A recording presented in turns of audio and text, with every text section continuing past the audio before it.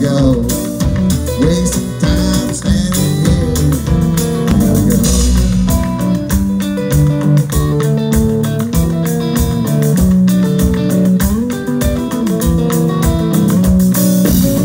This is your first time here since the pandemic to Berglund Center? It is, yeah. It's really good to be back in Roanoke from Blacksburg and be back here and enjoying the music and the, the local economy and trying to support uh, Roanoke and just have a good time back down here. So it's it's been too long. I miss Roanoke. I love Roanoke. It's, it's really good that there's musical acts that are coming back down here.